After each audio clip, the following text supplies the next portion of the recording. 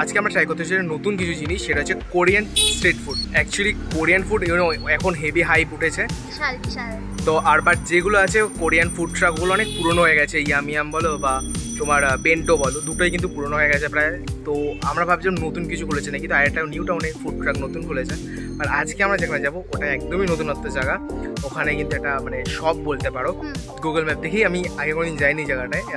এমনি একটা শর্টস দেখে দেখলাম যে এখানে একটা এরকম জায়গা আছে। মানে অনেক চিপের মধ্যে অনেক কিছু হ্যাঁ মানে কোরিয়ান ফুডে মানে কম্বো নাকি ওয়ান টোয়েন্টি নাইন দিয়ে শুরু হচ্ছে।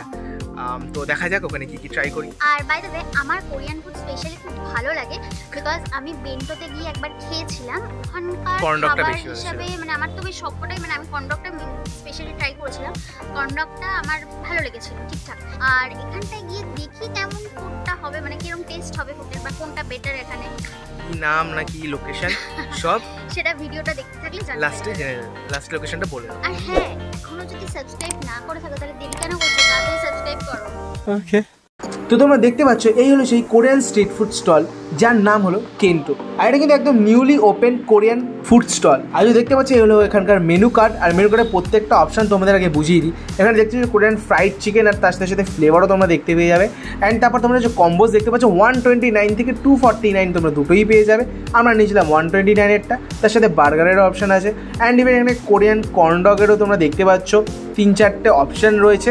আমরা নিয়েছিলাম হাফ অ্যান্ড হাফ যেটার মধ্যে চিজ থাকে। অ্যান্ড দেন তারপরে আরও অনেক অপশন ছিল নুডলস স্যান্ডউইচ বাবল টি বোবা যেটাই বলতে পারো। অ্যান্ড তারপরে এক্সট্রা আরও অনেক কিছু এখানে ছিল। হ্যাঁ আর এখানে কিন্তু অত অপশন দেখতে পেলাম না ইয়ামিয়াম বা বেন্টোর মতো বাট স্টিল ভালোই ছিল। আর তোমরা এখন দেখতে পাচ্ছ, এখন এখানে মেকিং হচ্ছে Korean street food corn dog Korean street food cheese half and half corn dog আর তোমরা তারপরে ওরা কিছুটা মশলা টশলা দিয়ে দিল, আর মশলাটা কিন্তু বেশ আলাদাই স্মেল আনছিল।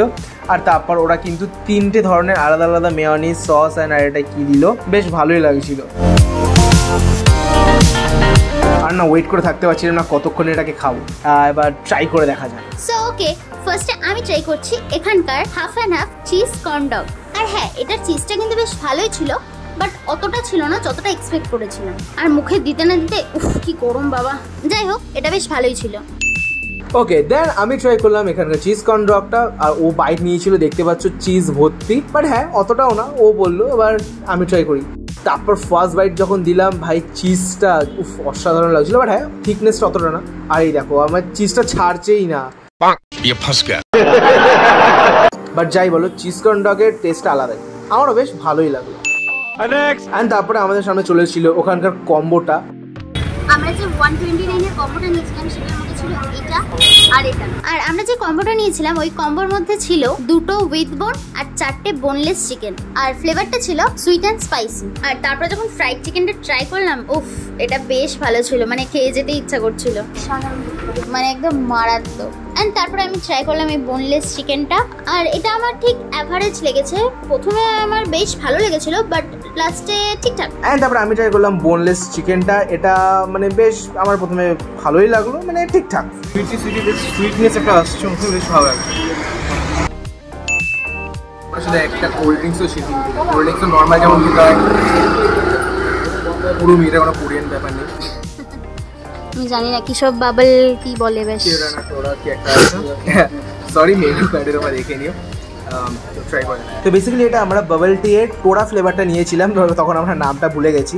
আর এটা খেতে কিন্তু মানে বেস্ট ছিল আমার ড্রিঙ্কসের মধ্যে এটা বেস্ট লাগল।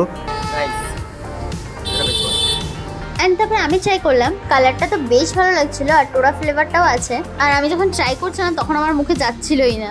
আর যাই হোক তারপর টেস্ট করেই নিলাম আর এটা জাস্ট অসাধারণ লাগল।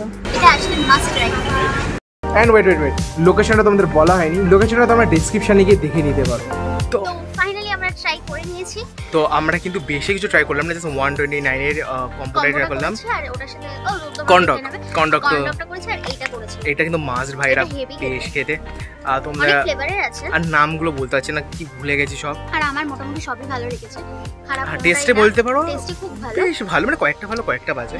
ঠিক আর তোমরা যেগুলো আমরা ট্রাই করলাম ওরাও ট্রাই করতে পারো। আমাদের কাছে মানে আর সত্যি বলতে আমরা ভয় পাচ্ছিলাম যে আর কী কী ট্রাই করব না করব ঠিক আছে? পকেটে বেশি টাকাও ছিল না। তার জন্য তো যেগুলো কম দামে ছিল তোমাদের বললাম ওয়ান টোয়েন্টি কম্বোজগুলো ওগুলোই ট্রাই করলাম। আর কন্ডক তো ছিল যেটা অ্যাভারেজ ছিল ঠিক আছে? চিজটা অতটা চিজ ছিল না ঠিকঠাক।